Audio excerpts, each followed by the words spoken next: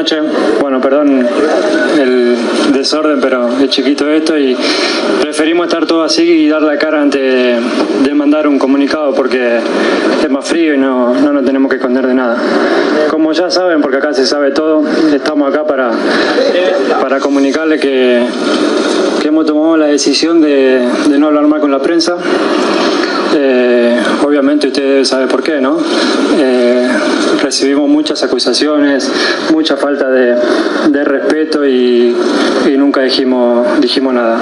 Pero creo que sobrepasa todo. Eh, la acusación que le hicieron al, al Pocho es, es muy grave porque lo dice, queda y la gente, eh, si no sabemos decir nada, se cree que es así, la gente, mucha de la gente compra todo lo que, lo que se dice y preferimos eh, cortar esto de, de una vez. Eh, lamentamos mucho que, que tenga que ser así, pero pero no nos queda otra. Sabemos que hay muchos de ustedes que, que, no están en ese juego, en ese juego de, de faltarnos el respeto, porque vos podés perder, podés ganar, podés opinar de, de si jugamos bien, de si jugamos mal, de lo que hacemos dentro de la cancha, pero, pero ya meterse en la vida personal de uno y, hacer las acusaciones de este tipo, que no es la primera, pero si no lo cortábamos hoy, no lo cortamos más. Eh, es muy grave, es muy grave, por eso estamos, estamos acá y volvemos a repetir.